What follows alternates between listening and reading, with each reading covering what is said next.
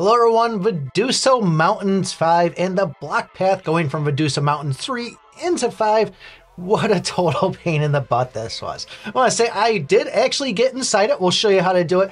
But I wasted about six hours a day grinding, killing every single enemy in Vaduso Mountain. Three, four, five, six, working my way up to seven, getting through that to finally go and see the shadow removed onto it, but still nothing unlocking it.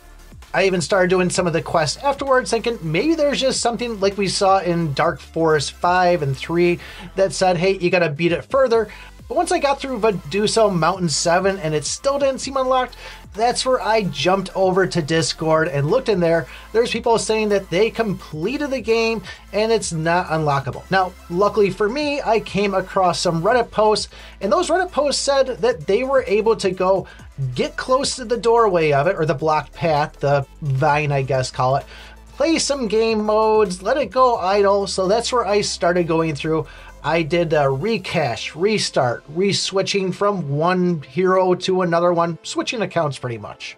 Now, the first one I saw I thought was trolling because they said they got in there. They only had like four karma on Reddit, which I'm not really big on Reddit karma or really care about it.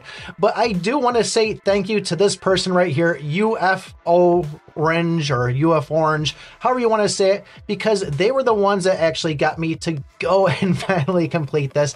You see here, I am butted up right against this actual vine here, this block pathway, and just by going and scooting the map in and out, dragging it up and over, you see right here, we made it in. Now, there's absolutely nothing you can do inside here at all, but still, it bugs you as much as it was bugging me of seeing that block path and knowing that there had to be a way to get on the other side of it. That's how I did it. We'll just show it again here once again. I went into the map, kind of was just dragging my finger, zoomed in, zoomed out, moved a little forward, zoomed in, zoomed out, and it just jumped me right onto the other side.